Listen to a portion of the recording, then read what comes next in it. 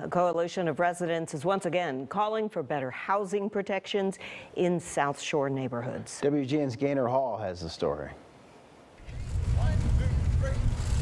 With construction well underway on the Obama Presidential Center in Jackson Park, members of the Community Benefits Agreement Coalition say the city is not doing enough to protect residents in neighboring South Shore. As a senior condo owner, I feel vulnerable to displacement. This is not displacement theater, this is reality. It just saddens me that like people, I and people who look like me won't be able to participate in all of the great things that the Obama Center is supposed to be bringing. Kiera Harden says within a few years, rent on her South Shore apartment went from 900 to nearly $1,400 a month.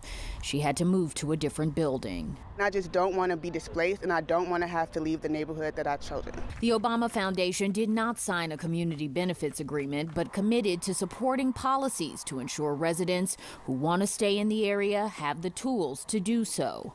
In 2020, the City Council approved an ordinance with housing protections for renters and homeowners in Woodlawn. But that did not include South Shore, which leads the city in evictions. The coalition has a number of demands. They want 100% of the city owned vacant lots in South Shore, like this one, set aside for affordable housing developments. They want to expand protections for homeowners and tenants, also taking steps to hold CHA accountable.